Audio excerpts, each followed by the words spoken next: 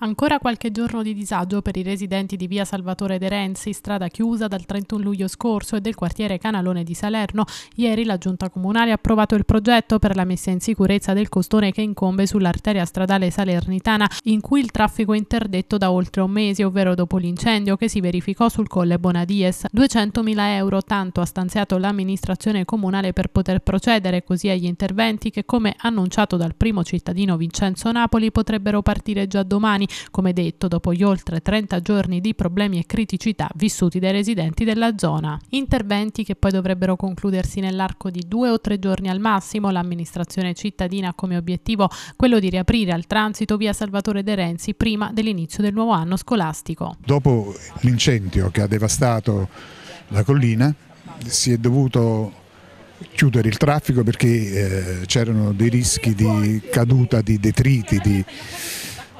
Dopodiché noi abbiamo dovuto ingiungere ai proprietari del suolo di eh, realizzare le opere di messa in sicurezza e abbiamo dato loro un numero di giorni congruo per eh, adempiere a quanto richiesto dall'amministrazione.